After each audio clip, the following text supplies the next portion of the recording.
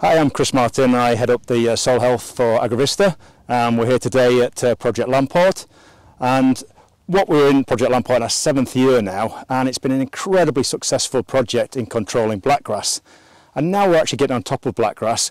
What's really exciting from my point of view is looking at some of the benefits of some of the techniques we've been using to control blackgrass and see what they're actually doing towards soil health. And some huge, huge benefits from some of the techniques we've been using.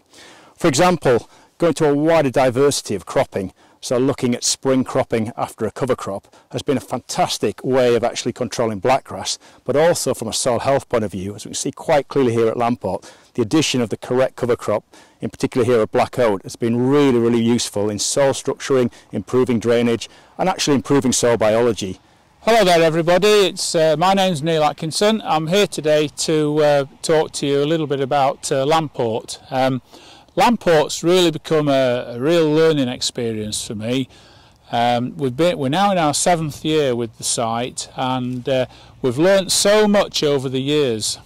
It started off very much a focus on um, grassweed control but the site's become so much more. It's, it's totally focused on soil health now. Um, we've got various topics that we're looking at. We've got uh, residue management, we've got cultivations, We've got the choice of cover crops. We've got the choice where things go in the rotation. And, and really just a, a really fantastic demonstration of how to successfully grow spring crops. And all these topics, they all build together to give us an overall improvement in soil health.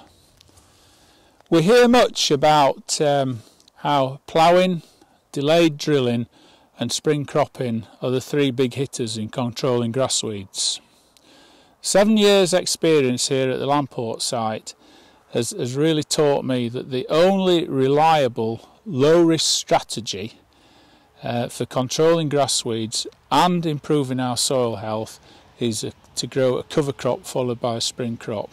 Not only will this deal with our grassweed issues, improve the soil health, but it's also protecting growers' returns. So welcome to Project Lamport and my name's David Purdy and for a few years now, I've been really studying uh, the health of our soil here at the project. Uh, over many years, much great work has been done in, in looking at, at different aspects to controlling blackgrass. And one of the ways that's been done is by using cover crops and then spring cereal crops. And the observation has been that doing that, the health of the soil has also improved. So we've taken some of that great work and we put it into two big replicated trials here to really understand the effects upon our soils and also co consequently the effect upon yields. Hi there, I'm Philip Wright. Uh, I've been involved now with Project Lamport for uh, quite a few years, well in excess of five years, um, and seen it really evolve from a, a, a simple blackgrass control trial into something far more than that. Uh, and uh, my involvement really has been looking at soil, soil structure, in the context really that what we're trying to do is, is if we can maximise the competitiveness, competitiveness of the crop, then we're going to have the best chance of controlling the blackgrass. And hand in hand with that goes making sure that we've got good establishment and we've got good structure able to allow the crop to develop very efficiently and very quickly. So that's really where we're coming from.